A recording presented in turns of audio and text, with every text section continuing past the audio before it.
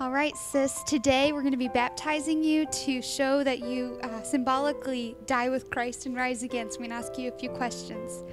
Do you believe that Jesus is the Son of God? Absolutely. Do you believe that he died on the cross for your sins and rose again on the third day, conquering sin and death once and for all? Absolutely. Then I baptize you in the name of the Father, Son, and Holy Spirit.